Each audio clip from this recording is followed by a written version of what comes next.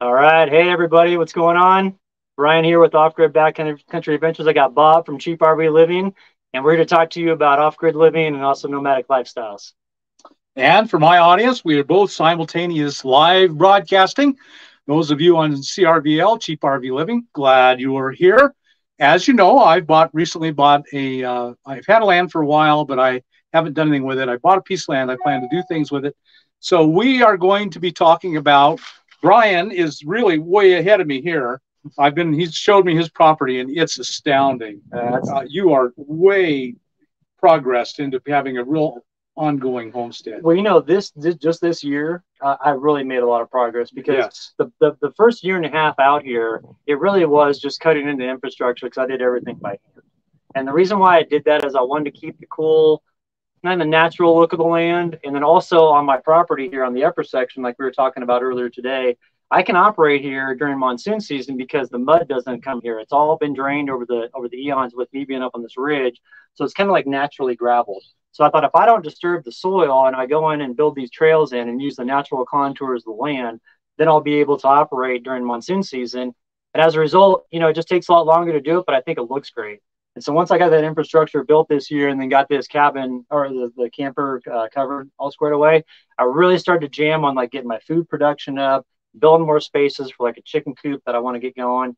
I also want to put space for uh, uh, build build space for uh, uh, meat birds, you know, chickens that you can slaughter for meat and really make it to where I don't really need to leave that much to go to like, you know, get groceries and those things. Maybe every, maybe once a month. That's my goal is to make it to where I just go leave once a month. And the rest of the time I'm here living off my land, growing food and, you know, just living the good life out here. It's awesome. I mean, I, I love living in this area. I never thought I'd be in Northern Arizona. Um, I always thought I'd be either in Colorado or Wyoming or Montana or something like that. But I came out here, and the more time I spend out here, the less I ever want to. I just don't want to leave. I want to go. I want to stay here, focus on this area, and just really get this built up to where it's kind of like my buffer from from the world, you know. And and I like that. I like having that space. So, right. Um, Let me. Uh, I'll just sort of jump in here. Okay. Now I know a lot of you are are interested in buying land, and some of you may be thinking, well, isn't aren't they exact opposites? Is is buying land and being a nomad are they contradictory are they bad, different ideas. Mm-hmm. and in my opinion that's not the case. Uh, you can have a, a, piece of land as a home base and then you can take travels and trips out of it. That's exactly what i'm going to do. No yeah. i'm not going to be on my land all year i don't think ever. Mm-hmm. uh, well when i get old enough and that's a big consideration we're not always going to be young and healthy. Right. And when you get old enough you're going to want to have a, a base and when you're not being able to drive her a lot, that's where you're going to call home. So I think the two go together really well, and I hope we can give you some really good tipper tip tippers tips on how to buy land, where to buy land. I know that's what most of you are interested in. We got a bunch of questions in, uh-huh. so we'll try to answer your questions. But I think the two go together. Uh, Brian, you were on uh, on wheels for seven years. Yep, and, and, I got off when Sierra got cancer, and I was also real sick myself. I had a parasite, right got down to 119 pounds. It was really hard. And so having this land, you know, that my goal going forward is like what you said, you know, have it here, but then do trips, you know, go out for two or three months at a time. But there's something about having land that gives me peace of mind, especially with what's happened in the past couple years. Because when, you know, when things started to get crazy in 2020, it was different. The, the vibe on the road changed. I don't know if you felt it, but I did. It seemed like it was just a little different. And so that was another reason why I started looking for land as well. But I wanted to be out far enough to where I didn't feel like I was going back to the city because I don't want to do that. I want to live out in the country for the rest of my life. And this is great because I can use this as a home base, but then I've got plenty of areas around here to explore. Right. So it's nice to have the two because, you know, I, I will say too is that uh, some people talk about truck camping. Oh, how come you quit truck camping? It seems like a great life. And it is a great life but you're not high fiving Bambi every day. You know, there's there's there are real challenges to go along with it.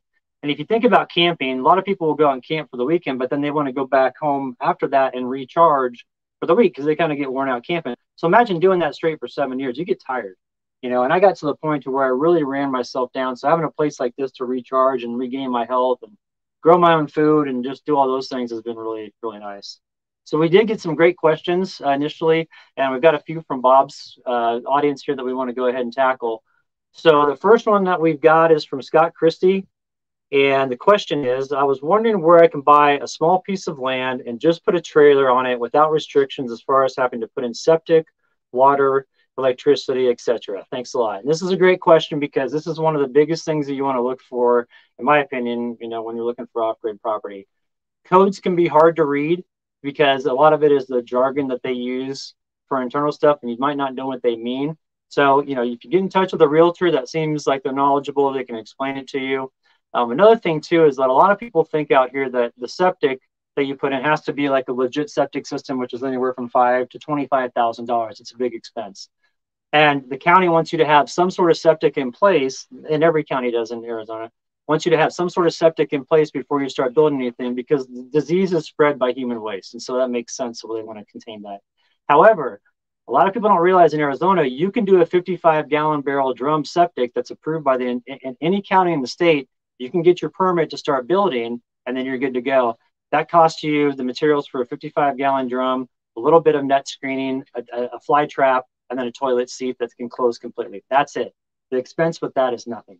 And so, you know, if you're looking to like piecemeal it together, and if you're on a budget, you don't have to outlay that big expense right after you get your property in order to start building something.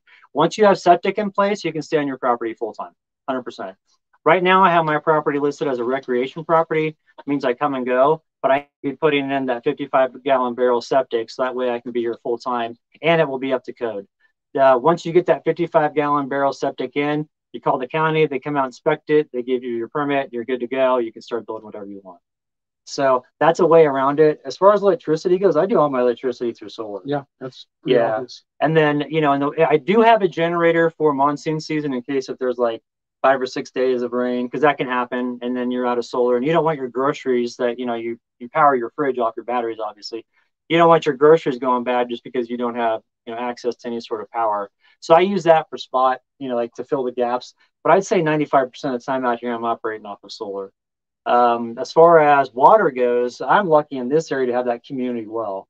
And it, it, for those that follow my channel and see where I go to get my my water, this this this community that I'm in here, my my property association dues, which only takes care of our road maintenance because we take care of our own roads, and also the well is only $92 for the entire year, and I'm allotted 4,000 gallons a month in water. I don't use near that. I use about 200 gallons. But I go over to the well, it's the same code for all of us. We have to have a lock on it because people will come up and try to get water. But our water over there is so deep. Our well is almost a thousand feet deep. It's 100% pure. We don't need to use a purifier. It has a generator on it and everything. I just pull up, take my water tote. I have an IBC 275 gallon water tote. I back it up to the thing, put in my water hose, top it, punch in my code, and press the green button. And within one minute, I've got 300 gallons of water. And then I come back here. It's only a five minute drive from my place, so there's not a lot of wear and tear on my truck, nor am I spending a lot of gas in order to go retrieve that water and bring it back. One thing that was unsettling recently is a lot of the counties started to track the public wells. So in order to uh, get water on, um, you know, from a public well, you have to you have to get an account with the county, give them all your bank information, all that stuff, and they track how much water you use. And I don't know. I, for me, I just don't want to have that level of um, surveillance, I guess, if you want to call it that. So uh, that's why I like it out here with the community wells. Lots of communities have them, but make sure when you're looking for property, ask for that. And if they don't have it, I'd recommend looking somewhere else. So if I were to drill my own well out here, it cost me about sixty-five thousand dollars. So you don't want to get into a situation if you know if you're trying to do it on the cheap to where that's the only way you can get water because it's a huge expense, and you might hit a dry hole. You know, there's a chance that you might not hit water, and then you're out of luck. So those expenses can be pretty pretty a lot. So that's ways to keep things down. You know, operate off solar, have a community well, get the septic in that's a 55 gallon instead of putting in a real, you know, expensive one, and you can get started. You know, that's the biggest thing. I think that the, the hardest part is getting going. Once you get going and you got that momentum and you got your systems in place, you're good to go. But up until that point, you're just constantly working to get to where you can start. You know what I mean? Right. So that's what I'd recommend. Also, too, like you don't want to be super far off of pavement because uh, you know, the, with the with the monsoon season out here, it gets so muddy. And if you're pulling, you know, 2,400 pounds of water back to your place, and it's all muddy, and you got to go over hills, there's times where I can't get over the hills that come into my place. They're not that big. So if you've got like miles and miles and miles of driving off pavement, you probably don't want to do that if you're if you're wanting to have ease of you know gaining getting water, getting food, access to just getting out whatsoever. Because I, I will get trapped in here for days.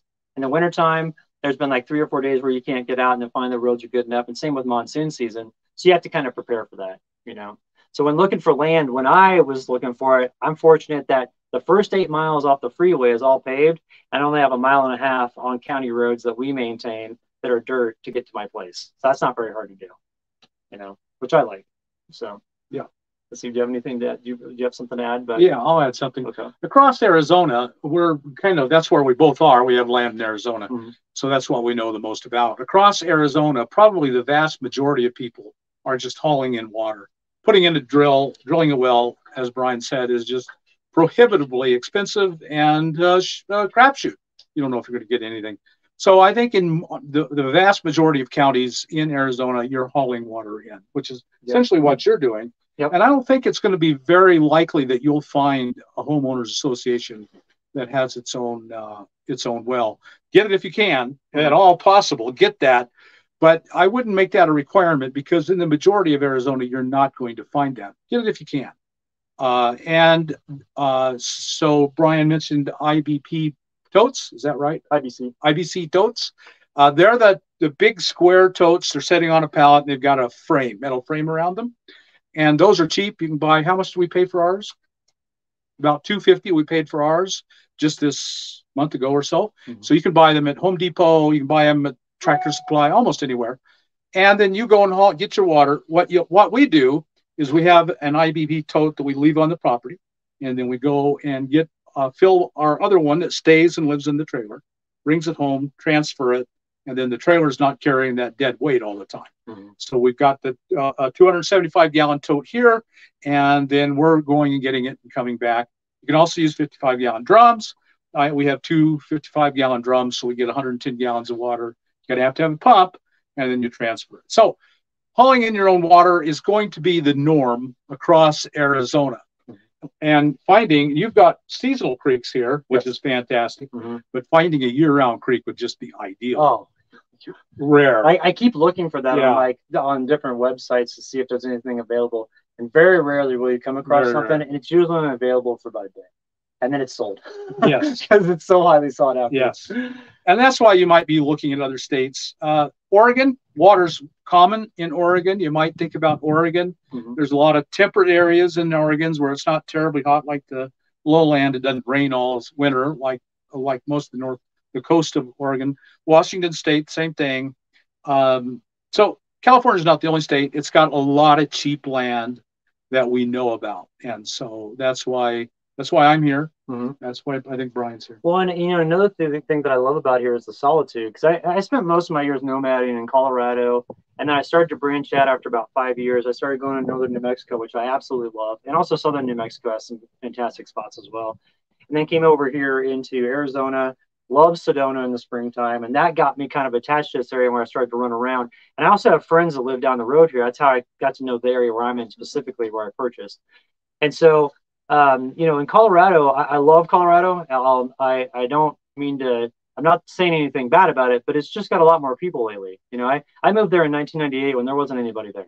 And so for those of you that live in Denver, you know how busy it is. Denver from the tech center, there's like two downtowns. There's the Denver Tech Center and the downtown. That's about a 15 mile drive. It used to take me about 20 minutes during rush hour back in 1998. Now it takes about two hours, you know. And so uh, that has spilled over, unfortunately, into the mountain communities, and the mountain communities have become a lot more just densely populated. And you have to think too, like, you know, you think Chaffee County, big county. Well, yeah, but only 15% is private. The rest of it's public land. So there's not that much land. You know, it seems like it when you're driving through, but a lot of it's nationally national forests or BLM. You can't go build there. And so the costs really went up in Colorado. It made it to the point where I couldn't afford what I wanted. I could afford stuff there, but it was all the leftover pieces that didn't have any resources, no trees or anything like that. And the water restrictions in Colorado are, are, are quite uh, yeah, and, and it and there's real big penalties, and the water rights are a big deal, and you can't harvest rainwater like you can out here. There's only a certain number of counties that will allow you 110 gallons of rainwater per year to harvest, and out here you're unlimited with that. And so that's another option too for water is if you want to build rain catchment, you, mm-hmm. you, know, you can you can do that as well. So you got a couple of different options. You got the community wells if, if you got that. If not, you got public wells that you can go haul water from, and then as a back as, as the ultimate backup, you've got you've got rain catchment. And the rain catchment, the only thing with that is I want to caution people, it requires a lot of maintenance. You think like, oh, cool, the rain comes and it just goes into a little deal. The rain has dirt in it, it's got dust. Um, that dust, some of it around here is not dust, it's actually manure that, you know, is fine particles that gets in the air, which can cause mold inside of your thing, cause algae to grow. So you're constantly treating it. You have to get that sludge out of the bottom. And I know people out, out here that after three or four years of rain catchment, they said, I'm going back to well water. It's too much of a hassle because you can get sick from it too if you don't treat your water right. And the animals are always trying to get in there. And so that's the reason why the rain catchment that I do out here will probably be more for garden, gardening, you know, like the hot tub and stuff like that. But the drinking water is coming from that well, which is it tested out as some of the best water in the entire country and it tastes phenomenal. So I'm lucky in that regard. I didn't really realize it when the when the realtor was telling me like, oh yeah, like we have a really great community well. And I'm like, oh okay, I didn't really know what that meant. Then I started talking to other people. They're like, you have one of the best community wells around. I'm thinking, wow, I, I lucked out because I didn't really know that when I first got here. So the other well, the other community well down the way, it's there, but you have to take your own generator and you have to have a 12,000 watt generator to pull that water out of the ground. A 12,000 watt generator is huge, huge, and it costs a lot of money and it's heavy, and you have to take that with you down there. So, you know, look into that when you're looking into property if you desire a community well. So that's a, that's a good question. Um, let's see, we've got another one here. This is from uh, Monique seven seven seven eight. How do you choose where to purchase the property? Uh, and then low taxes, dry land, cheap cheap property, etc. A step by step process to get water and electricity to the property. Um, do you want to talk about yours first on that? Well, I think uh, the most important factor that I considered about where to buy it is uh, well, cost. If you can only afford to spend fifteen thousand dollars, then don't look somewhere where all the property starts at 50. I mean, that just seems like an obvious answer. And I think the next thing for me is if I can afford the land, it's got a lot of reasonably cheap land, uh, is the weather. I mean, to me, the weather is really the critical factor. I wouldn't choose land in, on the Pacific coast of Oregon or or Washington because I don't want to be in the rain all winter. Yeah. Uh, nor would I choose year-round property to live in uh, down outside of Quartzsite because it's just too hot. Um, the wind blows a lot in the winter. So weather is a big factor for me, and I think we both had the same thinking here in northern Arizona, uh, across really the whole strip of northern Arizona. In the high country, you get you get pretty cold winters and fairly warm summers, mm-hmm. but never an extreme. Right. It's never 120, and it's never 20, 30 below. Right. So you know that's as good as it gets is not extremes not ex- well though the monsoons can get extreme rain. Yeah but it's so cool. Yeah. I love it. It's yeah. what you know another thing too that I, I love about this area is that since it's a little bit of a drier climate you don't deal with mold. Right. And that's a big, big that's a big issue for yeah. for wetter for like wet environments. That can screw up your entire living space. It can make you sick you can get cancer from it if you don't know it's there you get black mold. Out here it rains, it dries up like that. Yeah, you know, and so I've noticed that with like any sort of structure that I'm building. And also too, I had a little bit of a leak in my camper when I first got out here and it rained a bunch and I thought, dang it, I'm gonna have to pull all my siding off in there and get all the all the insulation out and redo it all. And so I was like, well, I'll do it in the morning. Well, I got up in the morning and pulled it all back and it dried overnight. So I thought, oh, that's kind of nice. And so that's that's a good thing. Um, a lot of people that I know that live in Colorado in wetter areas are saying we're always battling mold. So it's just something to think about. So I just sent you three more too from the left. Oh, okay. So other factors I'd consider when thinking about where is the elevation. Uh, you can you we're we're right around six thousand feet. Mm-hmm. Can you live at six thousand feet? If you have breathing problems, maybe you can't. So you have to be at a lower elevation. That's one of the reasons why our climate is so mellow here mm-hmm. in northern Arizona is because six thousand feet is is a good mellow temperature. Uh, but if you can't handle living at 6,000 feet, then don't even consider that. Um, the thing too is allergies, well, juniper pollen. Yeah, juniper trees. I mean, you can watch the, the, like the wind will hit, and all of a sudden there's like this cloud behind it. Like, what's that? And at first I was like, I don't know what that is, and I realized I'm like, that's juniper pollen. And so if you have allergies like that, that's another thing to consider. You know, you're out here in the forest, and so you're surrounded by so much plant life. It's a different living experience than being in like the city. So that's something. Well, you about. did something brilliant when you bought this land. You went and asked the owner, "Can I camp on that land?" Yep. And so tell us about that. Yeah, so that that that was one thing I wanted to make sure. Like I came out here during the daytime, I'm like, wow, it's really quiet, you know. But I want to see what it's like at night. I want to see how the noises are from people that might be coming home from work at five. Now in my area, I'm kind of lucky. There's only 12 people out here full time, and so in my section of the uh, neighborhood, I hear one person that comes up up in the morning or, or drives down in the morning from the hill above, and then they they go back up to work at night. So having one car a day go by twice is no big deal. I can I can live with that. If I would have been next to a noisy neighbor that you know ran a generator 24 7 and had a dog that barked nonstop, like I'd want to know that before I, I bought that property. So you know you don't want to come out and look at it and go, I love it, I'll buy it. Say, hey, can I camp here for a day or two? I want to kind of see how the property lives. I want to see what the noises are of the neighborhood. I just kind of want to get a feel for the land. And they'll let you. Every person that I that I spoke to that was selling land out here that I was interested in, they'll yeah, go out there and just tell me when you leave, so I know that you're not there anymore, so we're all good.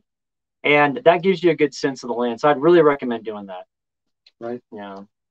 So let's see. We got some more questions here. Let's see. So so from Laura one two two one. Uh, this is for for me. Is your solar solar setup pretty much the same as what you had in your truck, or do you find you need more power settling in, in one place? Definitely find that I need more power because I'm running bigger systems. You know, for example, just my fridge. I, I had the little small Dometic uh, 37, uh, I think it's 37 quarter, 37 liter size. Now it's a 45. I call it CFX 45, but prior to that was a little 37. Now I've got the 65 in there. Well, that, that's twice as much power. You know, I'm running Starlink now, which is continuously, it's about 30 to 40 watts, depending on what's going on. It's the wintertime and the heater's on that to melt the snow, it's 100 watts. And that's on all the time, you know. So, and you, you know, take that over a 24 hour period, and you can start to stack up. You see how much more power you need. And then I also run an air conditioner, you know, and then I've got an e-bike I charge up, and just other things that are just just more systems that you have. And in that tiny little Tacoma, you know, I, I just had the fridge, and that was it. And then I eventually I added a zero breeze, but that only pulls like anywhere from 100 to 300 watts. And so, yeah, definitely a more robust system. And with the monsoons, you need to have a bank. You can't just say like, okay, I've got enough to get me through the day and the evening. You need to have stuff that can go into day two, day three if needed. So I'm talking like I went from a thousand. Well, let's see, I went from 1.5 kilowatts till I got to 10 kilowatts out here now, as far as storage is concerned. Batteries. Yeah. So that way I, I know if it rains for a couple days, I'm still good. I can still operate. Right. Yeah. Well, one of the big things is you can only have so much on a vehicle, and if you're living on a Tacoma, you got a pretty small roof. Yeah, I, I had 100 watts on the roof, and then a panel on the side that I put out right. when I got to camp. Yeah. Or even if you're in a fairly big rig, like a van. Well, I've known guys who got like 600, 700 watts on the van, but that's kind of the upper limit. Mm-hmm. But when you have property, you're going to burn more in the many ways that Brian just said. But you got a big chunk of land. I got, tw- I've got 20 acres, and I got a lot of land, and mm-hmm so what just exactly what Brian has done. He lays out, he goes, you can buy panels so cheap now. Yeah. Yeah. So cheap. Way cheaper than they were lot, just even three years ago. Yeah. So. Uh, Santan Solar in Gilbert, Arizona, Phoenix area. They will sell starter kits. Like they, awesome. It's uh, really cheap. They've yeah. got uh, they'll buy they'll pull buy uh, used panels. They'll test them. They won't sell to, sell them to you until they know they work. For a while, I don't know if they still have them. They had they have you checked recently? They have a 250 watt panel for 50 bucks. Yeah, that's amazing. Amazing. Yeah. Now it's used. Maybe it's been used five, 10 years. So it's still got 20 years left. Yeah. So so there 50 bucks times four for 200 bucks, you've got a thousand watts of solar. You can lay it out on your ground. You got plenty of room. Mm-hmm. Uh, yeah, I would say you're going to probably going to end up getting a lot most more solar and having a lot more comfort mm-hmm. in a homestead than you will ever will have on the road. And another thing too, which I'm going to be adding is a wind generator because yes. you know we have we have so much wind out here. It's always going, except yeah. for except for between like the 7 p.m. and 9 p.m. window. It seems to really die down during that time, and then it picks back up again. But you know, those are like 400 watts that you can get. You could easily have that running all day long, and you you know you take that throughout the whole day. You're creating a lot of power, and that's big, just easy. And one of the big things about wind is I'm thinking the exact same thing myself. I've got a like you. We're, we're about we're less than 100 miles apart. Yeah. Uh, I got a steady wind much of the time. However, with with solar, I mean with wind, a lot of people aren't aware your best wind, minimum best wind. I mean, this is really what you need to do to make it profitable and pay off. You need to be 30 feet above all the nearby obstructions. So that means if you've got a 30 foot tree, you need to be 30 feet above that. You really ideally need 60 feet. Well, we're not going to do that in our vans and cars and mm-hmm. Tacomas. Right. You're not carrying around 60 feet of pipe. You're not going to keep it solid on the ground. But you can practically do that when you have your own land. You can bury it in concrete, no problem. You can run guy lines, no problem. And you can have a 60 foot pipe and get your air way up there, your wind gin way up there. And really, my my opinion, the ones that most people are running on their vehicles, RVs, are pretty limited in productivity. But Yeah. you get up in the air enough and you'll get good power. So Mhm. that's another consideration for being on property Mhm. is uh, you know, the, the wind generator capacity. And you know what I thought of too is that that lower meadow where we went through, where I've got the water that comes through. Mhm. Well, for five months out of the year, I could also put a generator down there and have a turbine going. Yeah, You know, well, and that's and that's just going all the time and just constantly kicking out some power. hydro, you mean? Hydro. Yeah. Hydro, yeah, Yeah. that would be a great thing. Yeah. So So kind of working it so you're creating your own one path, and that's going to create even more. Power. Yeah, because where that drops off, when I was showing you where I was Mm-hmm. going to build that huge rock check dam, where it drops off there, it'd be easy to put a little turbine in there for the you know Right. for the water so- or, or for the power. You know, it seems it seems almost like science fiction, but hydro is really very practical on a on a homestead. And, and, you know if that water's flowing twenty four seven, it's just constant power. All power, Yeah. all time. I was watching this video. I'll have to forward it to you. It's, I'm sure I've got it saved in my my history. But it was a guy who, who has a homestead. I think he was somewhere on the East Coast, but he has a river coming through. That he does everything on hydro. Yeah. And I'm like, wow. If you got moving water, you're way ahead. Yeah. Well, just the survival issues. Yeah, yeah, You're exactly. way ahead. let let alone the power you can create Yeah. from it. So, okay, another great question here from Sent. Sent. Do we have? Well, a lot of Bob's audience wants to know what he plans to do on his property. Oh, okay. Yeah. What do you plan to do on your property? Uh, like I said earlier, I'm gonna. I don't. I don't ever plan to live on it. Um, but I know a lot of you are. I think most of us, even the, most uh, dedicated nomad, and I. That's how I would describe myself. I am a dedicated nomad. Uh, I've been living on wheels for over uh, over 22 years, and I'm going to continue living on wheels. Uh, but there's just something in us that wants us to have a, a home. Mhm. And uh, so I, I do like the thought when I'm on the property, I think, well, I'm kind of making a mess here. I'm kind of starting to look a little messy. I wonder, well, will the ranger come by and say something? I thought, oh, I'm the ranger. No ranger's coming by to say something about the little mess I'm leaving here yeah. and that's that's nice. My my intention for the property is I, I really like what Brian's doing. I definitely want to maybe get a little RV and just drop on it and leave there. And I love this overhang you built. Oh, it's it, it's made my living experience out here just, I mean, exponentially better. Uh, yeah, it's cooler, Mm-hmm. and in the winter, uh, well, it breaks. You could even put out some sides and break wind. Yep.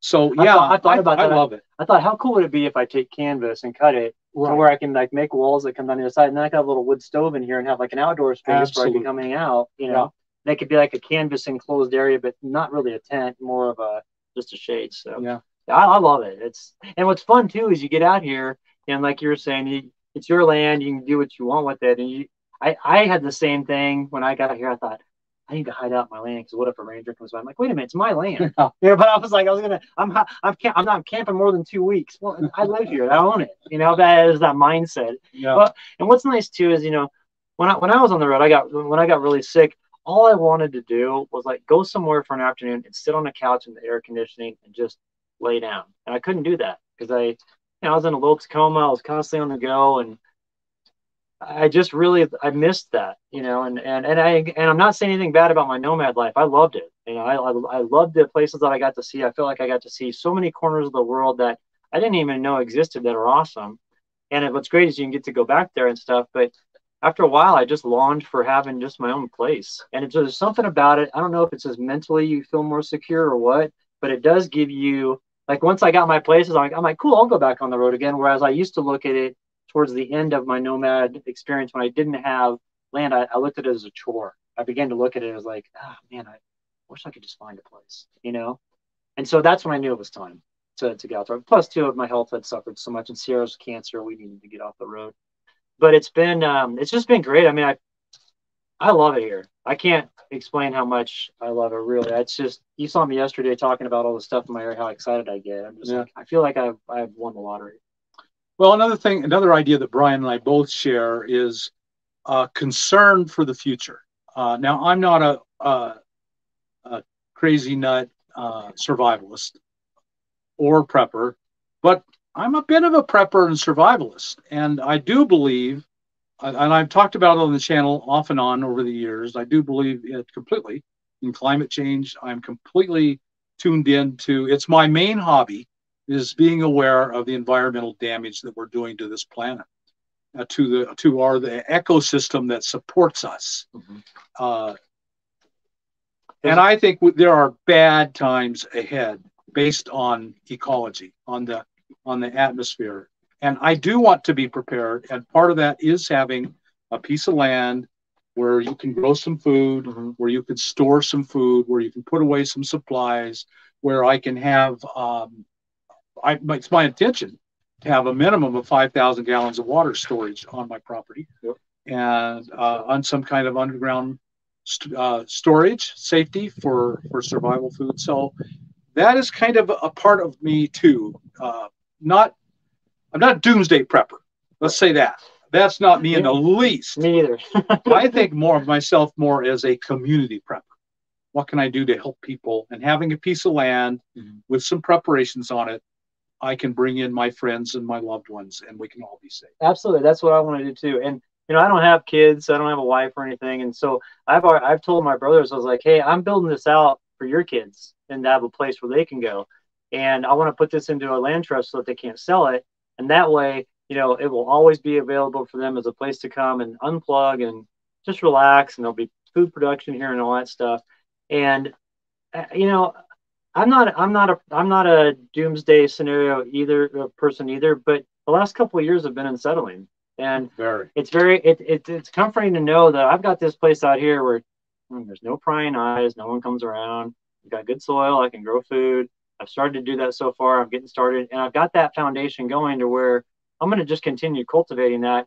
And then if things do really go off the rails, then at least I can fall back on this and know, okay, I can hunker down here and I've got a bunch of areas set up for friends to come camp, and they do often. I have people that roll through here all the time now. It's like, yeah, just come hang out on my property. And I want to make this a place for where we can just kind of hang out and, you know, put some distance between us and those troubles. Because if anything I've learned over the last two years, I don't think it's going to stop. I think it's just going to get worse, unfortunately. Yeah. And, and, and, you, and you look at the resources. I mean, look at the fight for water just from the Colorado River among the states in the Southwest. That's not going to settle down you know, with more people moving into the areas and more water consumption. And I also feel too that, you know, we, we do waste a lot of water. I mean, the, why are there golf courses all over the place in the Southwest when, it, when it's a desert? I mean, it doesn't make any sense. Why are we growing cotton in the desert? Yeah, or, or alfalfa. I mean, that's a very, very thirsty crop. Like, what are we doing? And so I think, um, you know, I get a lot of comments on my channel too, like, you know, oh, you shouldn't cut down your, your juniper trees or anything. But I'm, I have a, I have a master plan in mind and the plan is to recharge the groundwater here so that I kind of have my own oasis. And by, by removing some of those juniper trees, especially the scrub juniper that make the soil acidic and aren't that great for the environment, I'm surrounded by 1.9 million acres of national forest. So if I cut down a few trees on my property, I'm not going to kill the environment. I'm actually going to improve it. And I want to diversify the ecosystem on here. And so I'm going to use all those permaculture practices and, and really make a go of it out here. And I know it's not going to happen overnight. It's going to be, you know, five, 10 year project, but I'm not going anywhere, and I'm not going to ever sell this land because I love it. And um, I'm just really excited for you know what, what's what's coming down the pike for for myself to prepare myself for whatever is out there because I, I just don't want to be in the situation where I feel like I'm a victim, you know. So right. Um, yeah, another thing too, a lot of people ask me, uh, you know, what I paid for my land. So I got 14 acres out here for 20,500. So that's pretty good deal. You know, if you you consider that with the you know so my my my my fees for accessing the well it's about 500 bucks a year and same with the roads that's great my property taxes are less than 200 bucks a year that's another reason why i like it out here you know i, I could have bought in colorado but it would have been a lot more finances involved and i thought you know i can drive to colorado i don't need to live there right. and, and, and i like out here there, there's not really all that, that many people around but the towns that i go to resupply you know prescott sedona flagstaff they're real towns that have every store that you need. Whereas when I was in Colorado, some of the areas in central and western Colorado, those towns you can't get supplies and you're ordering stuff off the internet or you're driving two hours, you know, to get to a town that maybe has a store that you need supplies in. So uh, uh, the dynamics out here worked, you know, and and a lot of people think that it's funny when I said I was coming to Arizona, people are like, why are you going to Phoenix? I'm like, mm-hmm. That's all you, should, you should come up here and look around a little bit. Yeah. This is not the desert, this you know? yeah. so, all right, we got a few more questions here, and then we're going to dive into some of the live chat stuff. Uh, we've got one from John uh. Says, I want to buy some land in northern Arizona where I can live in an RV permanently, not for six months or a year while I build a house. Because a lot of uh, what he means by that, a lot of the permits allow you a certain amount of time to live in your RV before your house is actually up and running. So, but I'm finding this uh, uh, difficult due to zoning, permitting, and having to build a structure with septic. What am I doing wrong, or where do I need to look? Any thoughts or help would be greatly appreciated. You know, the, the, the main thing you need to get going is septic. And if you use that 55 gallon barrel approved, st- state approved septic uh, that you can install yourself, that is very, very affordable. Um, we have a link too. I, I think we're going to go ahead and put that. At least I'll put it on my community page after this, and I think Bob's going to go ahead and put it in his uh, live chat. Uh, there are some resources that you could that the state provides online with PDF documents you can download. If you follow that, you can get your your permits approved for a, an approved septic, and you can go ahead and live in an RV on your property. Um, another thing that you don't want to do is you don't want to plumb any water into your RV until you have that septic done, because if you plumb water in, then that's considered they, they, they think of it as a, um, a, permanent unit and not a mobile one. So you can do that after you get your septic in, but just do that 55 gallon barrel one first. It's not going to cost you the enormous five to ten to twenty thousand dollars that a normal septic would, and you can get going. And then later on, if you want to put in the legit septic, you can. Well, I thought we'd. Uh, I'm not an expert on the, all the counties in Arizona, but I'm pretty familiar. I've been uh, studying them for a while now, so I thought we'd look at some of the common counties in Arizona. Uh, in the southeast, which is still something you should. That's Tombstone. If you know Arizona at all, southeast Arizona is on the down on the border of uh, Mexico and New and New Mexico. Uh, Tombstone is where you the city you think of down there. It's about three thousand feet, so it's quite a bit cooler than say uh, Phoenix, and uh, and I believe it's still true. I know it was true for a long time. If you buy larger than five acres, you can sign a document it's right on the county website. I've gone and looked at it. You sign this document and you agree that you do not have to uh, maintain county permits, county uh, zoning, uh, and and then you you say in this document that you're not going to hold them responsible, and so you can opt out of, of uh, zoning in uh, in Apache Apache County. I'm assuming that's still true. You need to go make double the research, but within the last few years I've looked, and that's still true. That was then. It's true then. You do your own research. Uh, you're responsible for your decisions, not me. Mm-hmm. Uh, and then that's so that's uh, Cochise County. I said the wrong thing, didn't I? That's Cochise County, and then uh, due, I think due north of it is Apache County. Does that sound right? I think it's directly above it. Apache County is on far north, uh, far west and north Arizona, and that is, uh, I guess, the most comp, fa- uh, famous town there is uh, St. John's, you'd have to stretch your, your imagination, call it a town. It's not much of a town, yeah, but it's kind of the center. Few, it's got a few stop signs. yeah, it's kind of the center of that of the Apache County. Uh, and the bottom line is there. Uh, and again, I'm not. Don't do anything because I'm saying this. I'm not. I'm nobody. No expert. They essentially have no regulations. That's just the bottom line. There are no. Let me change that. There probably are regulations but um, there are no enforced regulations. I know people who there who've been there for decades and have never seen any kind of zoning, and they just do anything they want. Yeah, that's out here too. That's I, I know. I, I, know most people out here like that. Are exactly like yeah. that. Now, that doesn't mean he can't come in uh, next year and say, "Here are all the rules. You're violating them. Fix it all now." You know that can happen. We're, uh, don't go by anything I'm telling you. Yeah. You're inheriting all your risk of all your decisions. But the bottom line is the county mm-hmm. has no one in it and they want people in it. Mm-hmm. And so they're going to make it easy for you to come to it. Yep. And, and in my and in my area, and most of the counties are like this, they can't just come on your land and be like, well, let's see what you got going on around here. You know, like they there's a, there, there either has to be a complaint from uh, a resident around, or you had to trouble with the law for something to where they'd have to come out, and then they're allowed to look at your land. But prior to that, they can't just come on your property. And so there, no one comes around anyway. I've never seen a code code person. I've never seen a cop out here. No. Like I've never seen it. I don't see anybody out here. To be honest. So That's a good way to live. yeah, just no one's coming around. And, and but but I mean, I you know, and I know somebody from the county too that worked at the county office. I was like, hey, I'm out here in the middle of nowhere. Are they like? Are they check on? He goes, dude, we can't even get to people in town. He goes, you're so far away from us, we'll never get much where you're at. I was like, Yeah. oh, okay, Yeah. you know, and so y- y- they, they work with you is what, is what I'm saying. You know, I, I would think that if you're in a county that's super heavily populated, they're going to regulate you because they they need to. Well, if you're near the population center, Right. Yeah. But but being out here in the country, I mean, you know, you I got four 40 acre parcels to the north of me before my next neighbor over the ridge, and I never I never hear them, I never see them, anything. My next neighbor is a quarter of a mile down the road over there, and there's no one around. So it's like I could I don't even think I can make enough racket out here to cause a complaint. you know, so it's Yeah. You know that a lot of the parcels are 40 acres. To wrap your head around that, about three acres is a county block or as a city block. You know, it's uh, as far as size is concerned.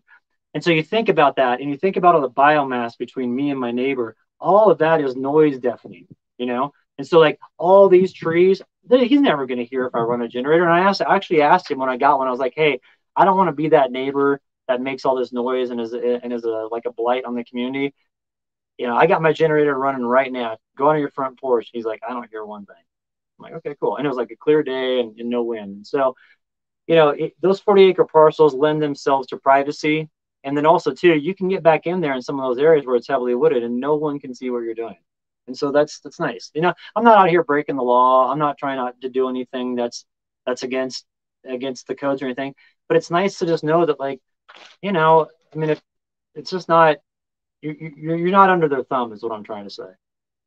So let's continue our tour around Arizona and counties. So let's talk about Coconino County. Of course, that's Flagstaff, uh, and Flagstaff is full code enforcement. You, if you're anywhere near them, you can expect to hear from zoning. But I know a lot of people uh, north of Flags, northwest of Flagstaff, is the junction, the Grand Canyon Junction, and I know a lot of people there who never ever, uh, no matter there's zero enforcement. I can I can just tell you that I've known people that have lived there for decades in their RVs and there's no enforcement. Again, will they start next year? Maybe. I don't know. But as of today, for the last decades, there has been no enforcement at all in Coconino County away from the population centers. Mhm. Next over from there is Yavapai County. I know some people in Yavapai County. Same thing. There's no enforcement. Uh, they- they- if you get far enough off grid, they don't have the time to come after you. You're not you're not going to make any money on you. They're just going to make an enemy. That's the biggest ones. They want to make money with the fines. And Yeah. if you've got minor, minor infractions, they're like, it's not even worth it. It's not even worth the gas to drive out there. No. And so again, um, I'm not all that familiar with the with the county regs in Yavapai. I think they're reasonable, but uh, there won't be any enforcement if you're remote enough. Yeah. I can tell you people here that I know on our property owners association board, they're like, we don't have anything permitted. We've been at it for three decades. Yeah. And they're like, we've never had one person stop by. We've never had anybody give us a hassle about anything. Again, but we're not giving you any kind of legal advice. And then let's talk about Mohave County, which is the uh, county next over from you. I believe it's next over from Yavapai. Yes. And it's up against the California border, and it's mostly desert. There's some high country in there, but it's mostly desert. And I happen to know a little bit about that because I know someone who lives in uh, Mohave County, and they're doing something now. Like Kingman is an example.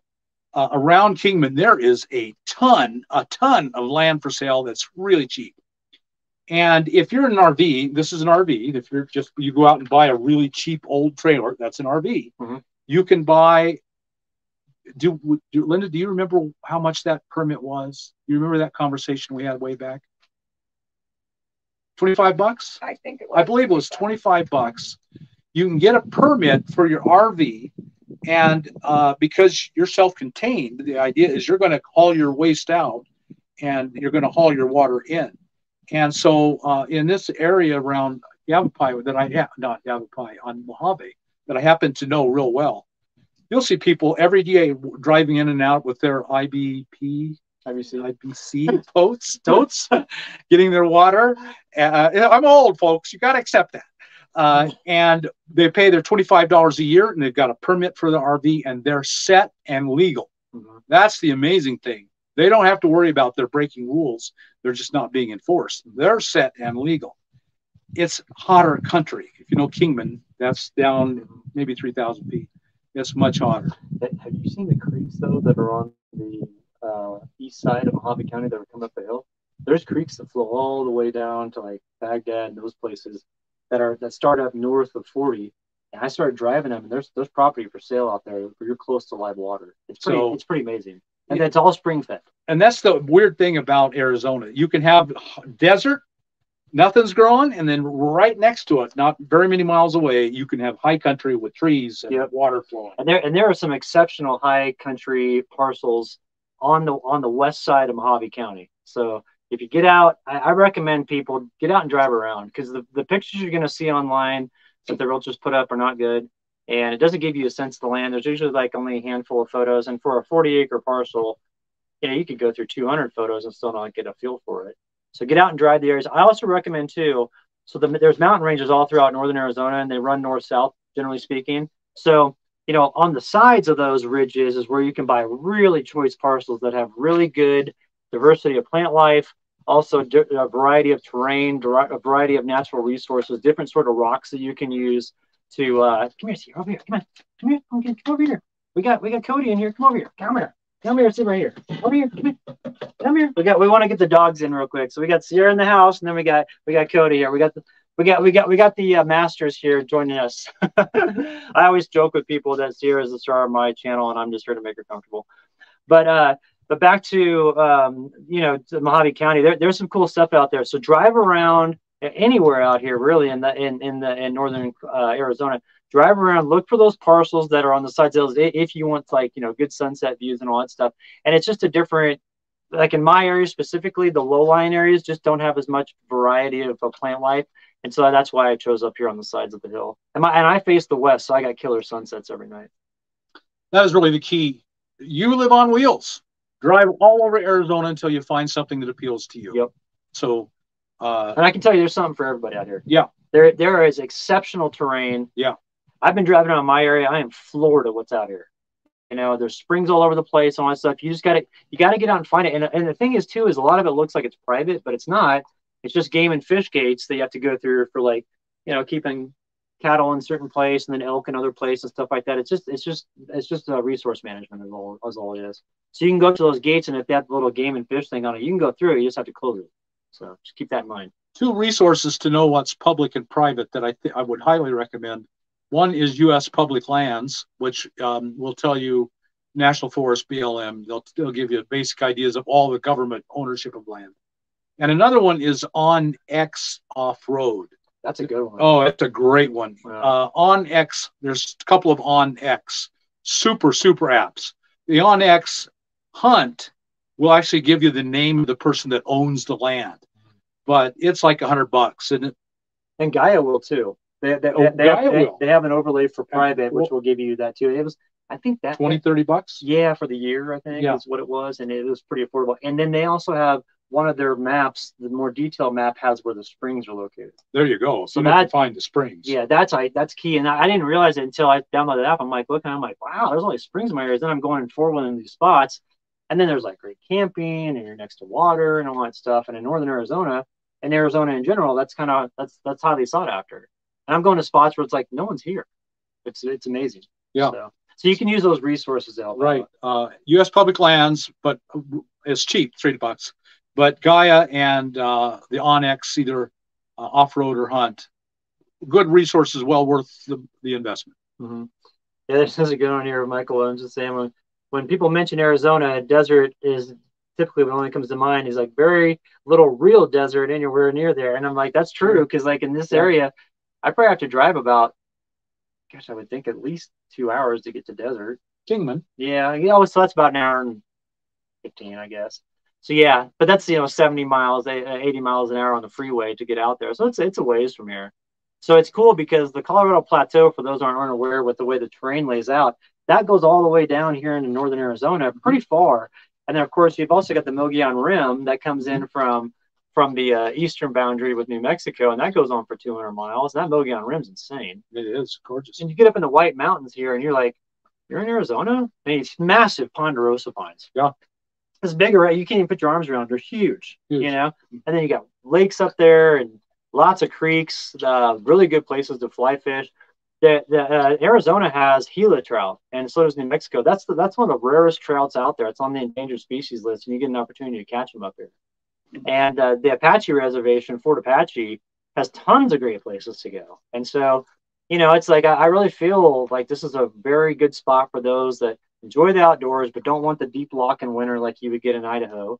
You know, to where you're you're, you're literally frozen in for six months out of the year you know, it just makes it a little bit easier to work with in the wintertime because they're not as extreme, but you still get a great winter season. You, you get all four seasons. You're not like locked into just one type of, you know, weather conditions. So I like it. I call it interactive living, you know, because we're out here, we're, we're, we're, we're, got, we're creating our own power. We've got our own water, you know, you're kind of creating your own, your own living st- space out here, but you're doing it always with active out there doing stuff. It's like, it's a great lifestyle to keep you young, I think.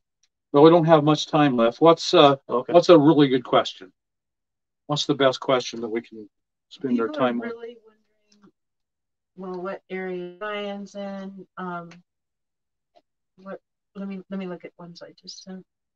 How much do they really realistically need to get a habitable homestead of say like five acres in northern Arizona? Um, like if you need well building permits, well septic, like how much are people and maybe talk about how to save that money for? Well, I, I if if you want to go the whole route, if you want to get permits, you want to put in septic, you want to put in a well, you're talking hundreds of thousand dollars. So especially the well. That's, that's not what we're, one. that's not what either of us are talking about. You're talking about something completely different. I'm talking about uh, buying a pretty cheap piece of land and living because uh, that's all I know and that's all I do. Uh, so uh, yeah, I can't give you the, the the whole round. I don't even know. Yeah, to more than I have is all I do know. So I would say uh, we know a friend who just bought uh, in Coconino. Uh, he paid fourteen thousand for two acres. Mm-hmm. So I think for uh, that's pretty common yeah. in around this particular area of Coconino. Is Apache County, uh, bet someone says, um, is Apache County preferable? Tom Sewell asked to like being around Williams area. I, I think it's nice up there. They're pretty lenient with everything too in Apache. Apache seems to be the most lenient county, I think. Um, also, it's also going to be the hottest. Uh, well, not the hottest, but it's going to be much hotter. Yeah, I, it's well, desert. Because you were saying down by, but you said south of Williams. Um, Are they asking the area south of Williams? He's asking about Apache County. Um, like Bob, you're kind of familiar with different county permits, how they, how hard it might be. To what are, what are the two we're comparing? He's yeah. asking about Apache versus Coconino. Well, it depends. If he's talking about north south of Williams, he may be into Yavapai. Oh, think? right. He could be. yeah, because like because you're looking at it here. This is Apache. So and then you got Sedona. He's so asking about Williams in particular, isn't that Coconino? Uh, Williams is Coconino, yeah. It's okay. right. it's right on the edge of Coconino. It's like West Coconino, right close to Yavapai. And Williams is great. Williams is awesome. Fantastic. Williams has a bunch of great places back in there to fish. They've got Ponderosa Pine Forest. It's nice and cool. Uh, they got Bill Williams Mountain out there. You can go hang out. You can go north into the Grand Canyon. Uh, it's you're close to I-40, so if you need to get on the highway and jam and get to other spots of the state, you can. Um, I like it around Williams. So Williams has nice services in town. They've got, you know, they got a full Safeway with a big organic section. They got pharmacies. They've got car repair stores. They've got, you know, Napa Auto Parts, all that stuff. And they have the train that comes through there, which is kind of cool. Amtrak comes through there, so you can hop on that and go tour around the country if you want. I think Williams is a neat little town. The only thing about it is it does feel like the main street is a little bit touristy. Oh, with like with like the t-shirt shops and stuff like yeah. that. I don't really care for that. I would like it if it get converted to like you know, local spots. Like there are some good restaurants there though, especially off the main drag. There's some great stuff on the east side of town. Really good stuff. So. Well, thinking in terms of the county rather than the town, I think Yavapai is preferable to Coconino mm-hmm. because Cocon well, Yavapai has Prescott. That's a big town. Yep. Prescott Valley. Yep. Chino. Yep. Um, and they're so busy down there. Yeah. I mean, Prescott Valley is growing so fast. They're really fast. They they are chock full with work down there for months. Yeah. So they're not coming up here. I think if I was given the choice of buying in Coconino County or Yavapai County, just looking at the county itself, I think I'd choose Yavapai. Know, it's it's a little bit more lenient, and uh, you know, with Coconino having Flagstaff, it's just there's more people around. You know, and and the, and the prices are so much more. If the the closer you get to the city, same with Prescott. The closer you get to town, I mean, they skyrocket. You know, out here, so I bought the land for twenty thousand five hundred. This was six thousand. Okay, my quad was eight thousand. And so I'm all in, and then I bought 10,000 pounds of reclaimed lumber for a thousand bucks. I'm all in for less than 35 grand out here, you know, that's really nice to have this parcel of land, 20 acres. Now, granted, I got it, I got it right as COVID was hitting. So prices have gone up a tad, but it's not bad. You know, you're not looking at like hundreds of thousands of dollars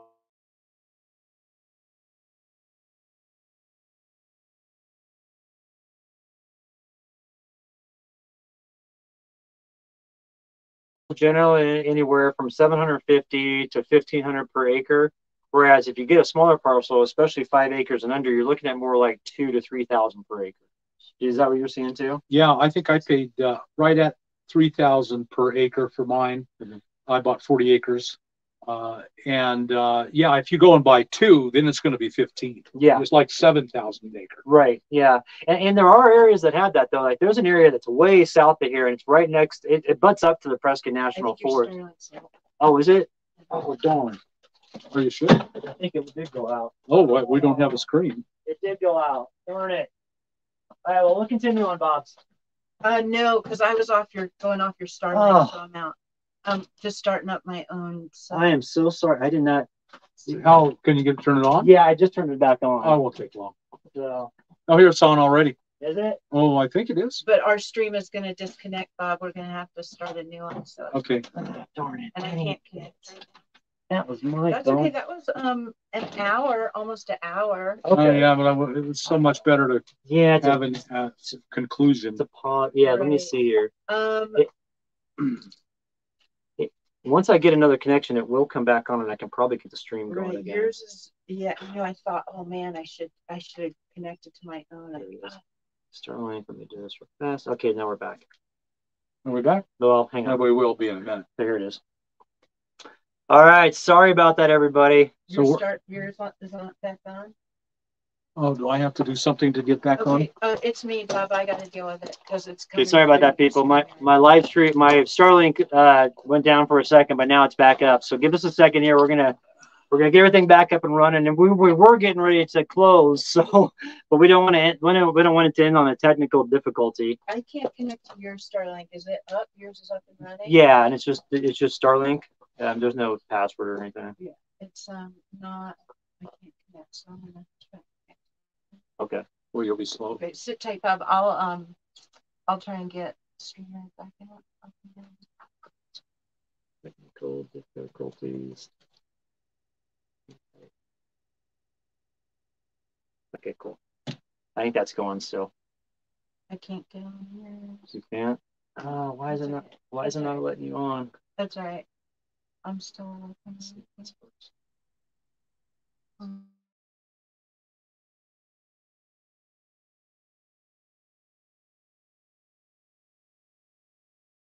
Back up, but um, Okay, there we are. It looks like back up. looks like Bob's is Okay, hold on.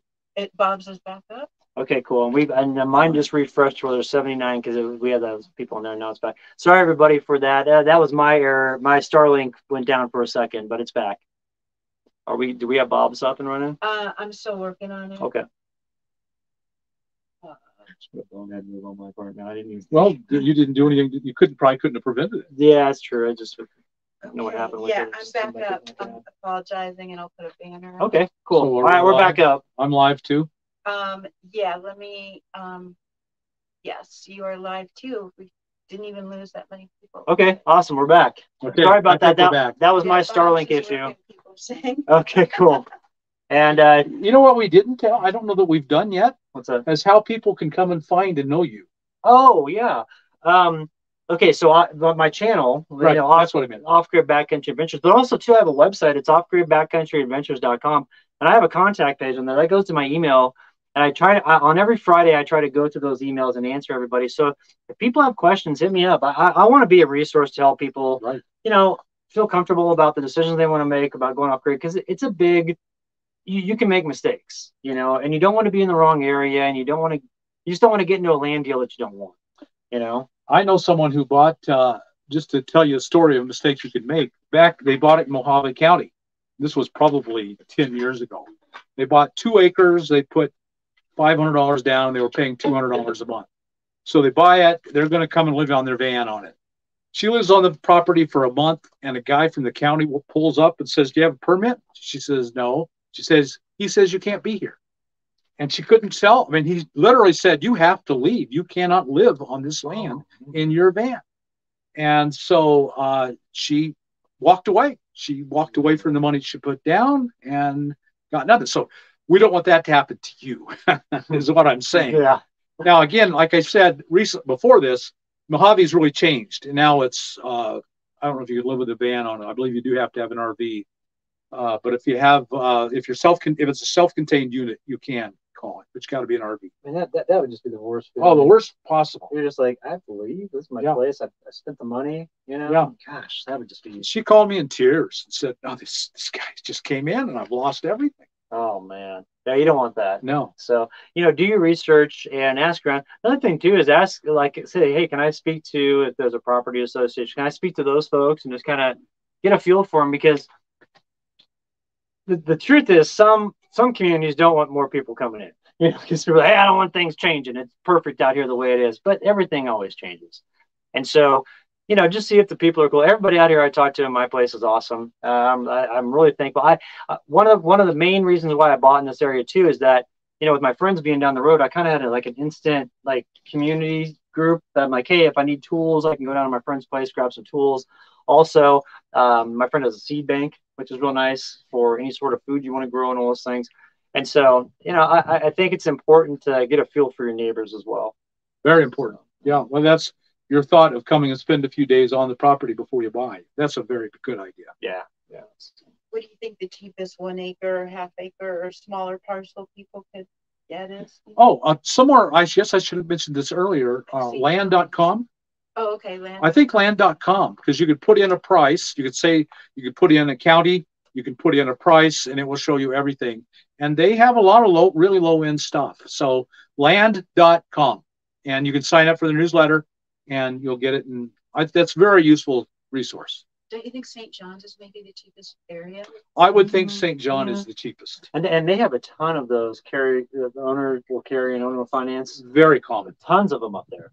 And I think that what it is, they want people up in that area. There, there's some great parcels up there, you know, especially the mountainous stuff and everything. And, and they're up high. They're like, some of that place is like 62, Yeah. 6,300 feet. And it's- pretty. There's some real pretty country. Yeah, it's real nice. all the one thing you got to understand the cheaper it is the more remote it is because if you're near a population center it's going to cost a lot more so and we wanted that we both wanted to be remote Yeah. and so that's how you're going to get your cheapest land but are you a person ask yourself this and be really honest do you want to go and live remote and only see one person a, a week yeah. And and do you want to drive an hour and a half to get groceries? absolutely You know, Not not a lot of people want to do that. Right. Is that for you? And you better be really honest, or you're going to buy a piece of property and then think, oh, I hate it here. Yeah. You don't want that. We both are thriving on the places we bought because we have, we're honest with ourselves. Yeah, yeah. And, and you know, and, I- and I I like the fact that when I go to town, I'm like, okay, I'm gonna get supplies for three weeks, Mhm. and so I'll go, and it's a big grocery bill, but I'm like, I'm not going, I'm not returning for almost a month. Yeah. You know, and then once you get your systems dialed in, you don't, you're not making those trips to town, so your gas costs costs are going way down to get supplies. Then you get all your infrastructure built out here. You're growing your own food, and everything you do can lower your costs. So Okay, is there one last question that goes we can answer real quick? Um, I think you covered it from my end, but people want to know about the RTR if you want to okay. talk about the dates of the RTR. Yes, the RTR is happening. It's going to be exactly like it has been the last two years. It will be in Quartzsite at the city park. Uh, if you know the city park, you know where the library is in our at, in Quartzsite. It's directly kitty corner across the street from the library. Uh, there's the Jets there on the corner, and it's the big. We'll be in the ball field again. Uh, the dates, I just don't remember them off the top of my head. I might could look them up. They're probably on my calendar. Uh, they'll be the middle of January. They always are in the middle of January. Um, Such a nice time down there. yeah, it is. It's a Nice good time time to be there. Yeah. Yeah, the last day will coincide with the first day of the big tent. We always do that, so you can go down there to the uh, big tent and get a job. Uh, let's see if I have it in here. No, it's not on here, so I don't know when they are. Is it online? So I can pull it up and see. Yeah, we might have announced it on the Howa.com. It's actually a production of Howa, Homes on Wheels Alliance. No, Howa.org. Sorry about that. Howa.org, H O W A.org. Gotcha. Uh, and uh, it might be up there already. I don't know. Uh, I'm looking at January of 24. My guess is it's over on the 19th, and the la- uh, the- the last day the RTR will be the 18th. So the first day will be about the 8th. Just guessing. Just looking at the calendar and guessing. okay. My guess is January 8th through the 18th. Does that sound about right? Yeah, it's saying here like January. Yeah, you get going on the eighth, and then by the time the is this the big tent? You end up the Big 20 Ten more, on the 21st on that. So it looks like looks like that was two weeks. Like the, like the week of the eighth and the week of the fifteenth. Right. Yes. I think that's we're going to be about it. Yeah. Okay. Cool. It'll be good. Be there. You Right on. remember that We're gonna go, we're gonna have bubbles on our side. Here we got bubbles. Oh, we got bubbles. Years ago, I turned on when I just started YouTube, and I I turned on the bubbles by accident. It's a little cute thing YouTube does. I didn't know that was that was available. I didn't either, and I had no idea how to turn it off once I turned it on. this is going. And so people have just been demanding bubbles ever That's since. So bubbles. cool. Bubbles. Okay, I think we're done. Yeah, thanks everybody for tuning in. Sorry for the technical difficulties, Yeah, but we're yeah, back up and running. So That's part of being off road. yeah, yeah, and, and thank you to Bob for coming out here and visiting my place. My. It's pleasure. been really nice to hang out and just chat about stuff. And Yeah. you know, it's it's fun. I, I love having a bunch of nomad friends like we were talking about. I, I've got so many nomad friends and talking to them. We all share that same sense of excitement for life and just the challenges that any sort of off grid living presents to us. We look at it as like learning experiences, Mhm. and I love that. So, Yep. Yep. Yep. all right, Okay. everybody. Thanks so much, guys. All right, we'll see you on the next one. Thanks for tuning in. Okay. Okay, end stream, end. Cool. All right, we're good.